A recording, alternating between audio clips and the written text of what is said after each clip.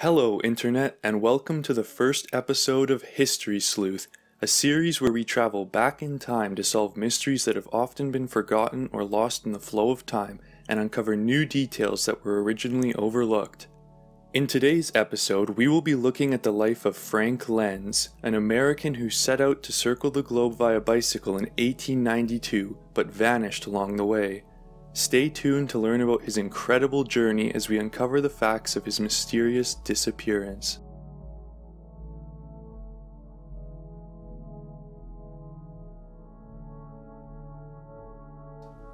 Frank Lenz was born in 1867 in Philadelphia to Adam Reinhardt and Anna Maria Reinhardt, immigrants from Germany. His father died while he was still a child, and Anna Maria moved to Pittsburgh. When Frank was six years old, his mother married William Lenz, another German immigrant. A few years later, the sport of high wheel riding was introduced to the United States from England. It was considered an elitist, fringe sport, and American cyclists were predominantly wealthy young men brave enough to mount high wheelers, which were bikes with a large front wheel and a tiny rear wheel. Frank Lenz was born with adventure in his blood, and at 17 years old, he took up the hobby of cycling. After receiving his first bicycle as a gift, Lenz rode it faithfully and eventually joined and took trips with the Allegheny Cyclers, a local cycling club, through the nearby trails and roads in Pennsylvania.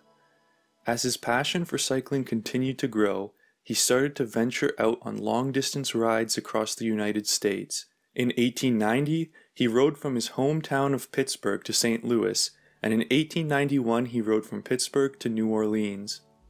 In 1892, Lenz decided his job as an accountant was too mundane, so he quit it to pursue his passion for cycling. The Englishman Thomas Stevens had completed the first circumnavigation of the globe by bicycle in 1887, and Lenz wanted to make an attempt of his own. He reached out to Outing magazine and they arranged a deal with him that in exchange for pictures and stories from his ride, they would sponsor his excursion. Not only would this trip provide him with his desired adventure, but Lenz believed it would help promote the new safety bicycle, which was a development similar to present day bikes with pneumatic tires, during a time where the appeal of cycling was quickly growing. He set out from the Smithfield Street Bridge in Pittsburgh on a Victory Safety bicycle on May 15, 1892, with 800 onlookers wishing him well. Going first to Washington, D.C., he then traveled west across the United States and parts of Canada, reaching San Francisco on October 20th. From San Francisco, he sailed to Japan, where he rode from Yokohama to Nagasaki before crossing to China. While Lenz enjoyed his trip through Japan, which he praised in his reports, China proved a tougher stage of his journey. Whereas Japan had good roads to bike on, the roads in China were in poor condition, and the fact that it was winter made biking conditions even worse. While many of the locals curiously watched Lenz pass through, he also encountered many people that were hostile or fearful. He had expected to cross China in three months, but it took him six, and he was happy when he finally reached Burma, which was part of the British Empire. It's now known as Myanmar. The jungles of Burma proved another difficult obstacle, with heavy rain and almost impassable roads. He also contracted malaria while he was there, which slowed him down significantly.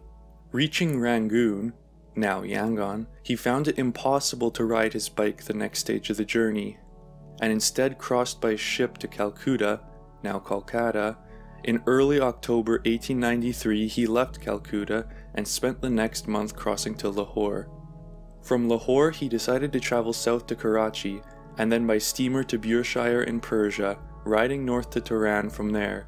He found Tehran a wonderful place and was hesitant to leave. But he set out for Tabriz in April of 1894, hoping to reach Constantinople, now Istanbul, before the worst of the summer heat. In early May 1894, almost two years after his departure from Pittsburgh, he set off from Tabriz on the next stage of his journey, with Erzurum as his next objective. He was never heard from again. When Outing magazine lost contact with Lenz and nothing was heard from him throughout the summer, his family started to worry that something bad had happened. There are currently several theories floating around about what could have happened to Frank Lenz. One theory is that he loved Turkey so much that he went undercover using a new identity and started a new life there, but this theory seems highly unlikely. He had a good relationship with his family, so had he decided to live out the remainder of his life in Turkey, he had no reason to keep them in the dark about it and no reason to claim a different identity. No, unfortunately the fate of Frank Lenz is much grimmer, as there is no doubt that he died in 1894. Another theory suggests that Lenz may have died an accidental death.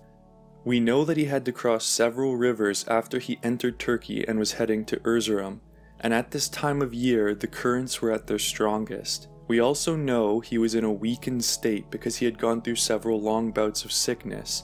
So it is entirely possible that during one of several storms that occurred during the time he was there, that he managed to fall into a river and drown. But there is no evidence to support this.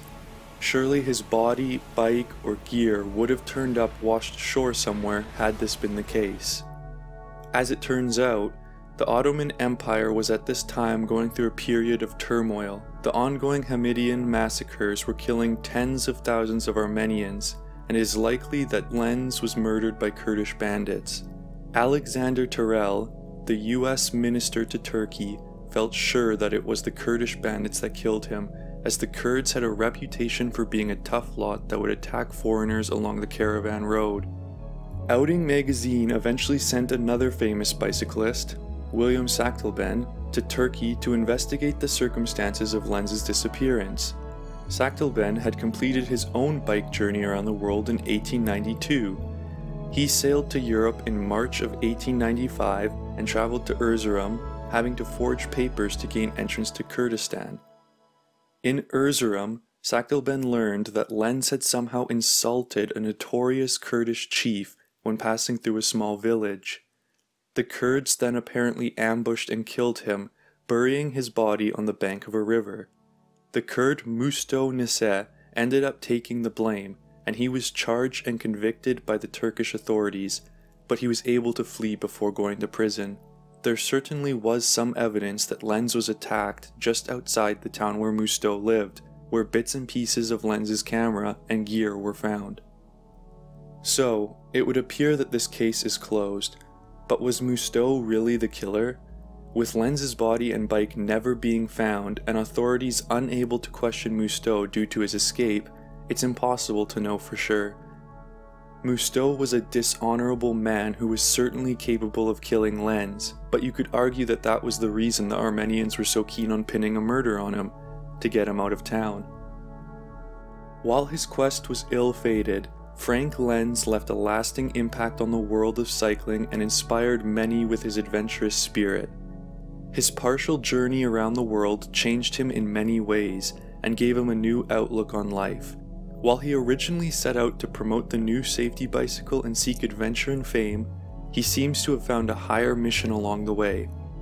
He talked about how it would prove that there is a fraternal feeling among the human race, and that with civilization comes tolerance, and a more sympathetic appreciation of fellow men among all nations. Thank you all for watching the first episode of History Sleuth. If you enjoyed it, please leave a like and consider subscribing and ringing the notification bell to stay up to date on all the cases I will be attempting to solve. If there are any other historical mysteries you would like me to investigate, please let me know in the comments below.